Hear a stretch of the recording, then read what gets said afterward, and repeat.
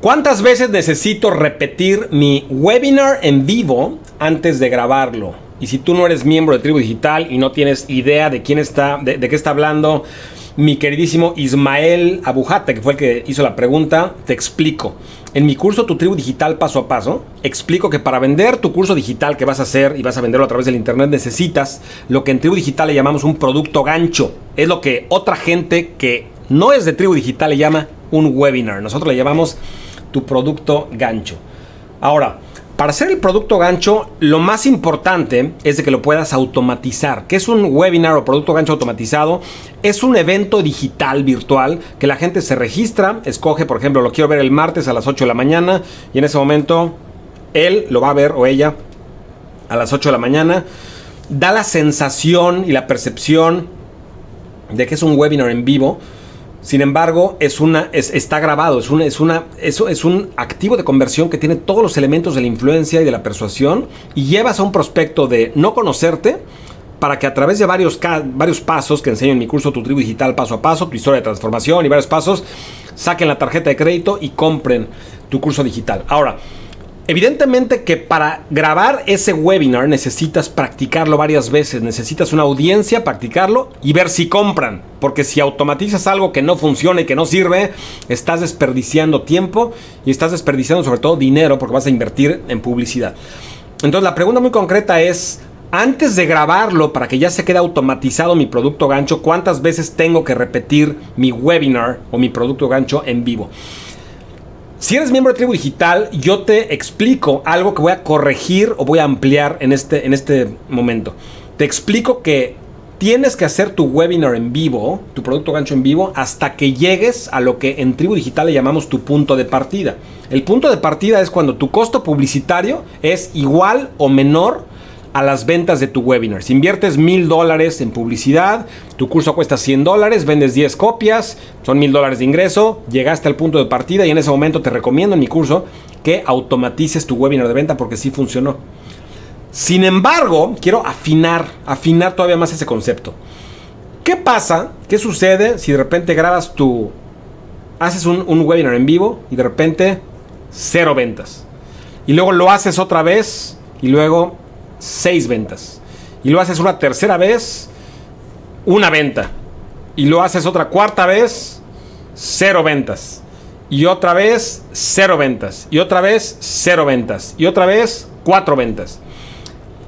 No podría decir que llegaste al punto de partida por haber, por haber cubierto tus costos publicitarios en un día. Y es algo que reconozco me faltó clarificar y por eso el valor de estas sesiones en mi curso Tu Tribu Digital Paso a Paso. Si tú haces un solo webinar y de repente sacas dos ventas y ya con eso cubriste tu costo publicitario y piensas que ya fue exitoso tu producto gancho, ¿qué pasa? Yo te pregunto, si ese webinar lo hiciste en un día festivo, la gente estaba en su casa, tenía tiempo de ver tu webinar y de repente compraron dos o tres, pero cuando pasas a la vida normal, automatizas tu webinar, tu producto gancho y de repente lo empiezan a ver en lunes, martes, miércoles, jueves, no es día festivo, es día normal y de repente la gente no puede ir a tu webinar y piensas que funciona porque funcionó en vivo, pero ahora ya no funciona. Entonces, ¿cuál es la forma de resolver esto? La siguiente. Tienes que automatizar tu producto gancho cuando logres llegar, y esto es lo más importante, y escríbelo, escríbelo, como te he dicho varias veces a lo largo de esto, escríbelo, aunque estés viendo esto en video o en vivo, escribe, escribe, actúa, pasa al campo de juego y participa, escríbelo. Tienes que automatizar tu producto gancho cuando logres de forma consistente llegar al punto de partida. Repito, automatiza tu producto gancho cuando logres de forma consistente, y esa es la palabra clave de esta oración, es la que yo, si fuera una carta de ventas, eso es lo que subrayaría y pondría negritas. Consistente, de forma consistente, llegues al punto de partida. ¿Y a qué me refiero con forma consistente? Haz tu webinar en vivo el lunes y ves si llegas al punto de partida. Y luego hazlo un sábado y ves si llegas al punto de partida. Y luego lo haces dos semanas después, un martes, y ves si llegas al punto de partida. Si de 10 veces que lo hiciste llegaste al punto de partida 8 veces y si sumas todo el ingreso y llegaste al punto de partida en total y en general, has llegado en realidad a la cima y ahí empiezas, ahí arrancas tu negocio en realidad, porque ahí puedes, puedes, automatizarlo, puedes escalarlo, puedes empezar a llegar a más mercados, a más audiencias y puedes tú quitarte del cuello de botella y lograr que sea en piloto automático. Pero tiene que ser de forma consistente. Y ese es el error que estoy notando una y otra vez. Que mucha gente, porque hizo un webinar y sacó una o dos ventas y le metió 100 dólares, su curso cuesta 100 dólares, sacó una venta, llegó al punto de partida y lo automatiza. Hazlo varias veces. El otro beneficio de hacerlo de esa forma es que te va a permitir practicar, practicar. Una de las mejores habilidades que puedes tener es lo que estoy haciendo en este momento, es hablar frente a la cámara. Cuando yo empecé, si vieras mis videos en 2004, 2005 que empecé yo a enseñar, evidentemente que repetía una palabra 17 mil veces y decía este, este, este, este varias veces y hablaba de alguna forma no tan fluido como me ves en este momento. La experiencia y las horas y horas y horas y horas y horas y horas y horas y meses y años y décadas en este caso de hablar y hablar y hablar y repetir varias cartas de ventas, productos de venta, eh, webinars, etcétera, es lo que va soltando la lengua, te va permitiendo hablar y te va permitiendo articular. Y la habilidad de habilidades es la influencia. Cuando tú logras hablar de cierta forma que llegues al corazón de la gente y que puedes influir en las personas, tienes las llaves del castillo. Y no solamente para ganar dinero, para transformar a la gente, que para eso estamos en Tribu Digital.